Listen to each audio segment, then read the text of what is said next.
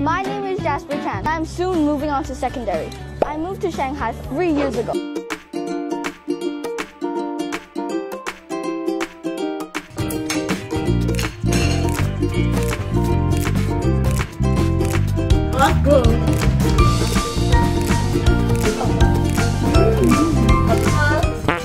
My name is Jasper Chan, and I'm here to show you all around the beautiful city of Shanghai for a whole 24 hours.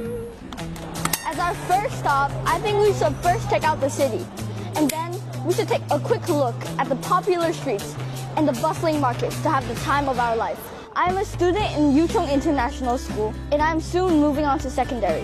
I moved to Shanghai three years ago. In my eyes, Shanghai is life-oriented, international, and fashionable. Here, there's everything that you can imagine that I can't.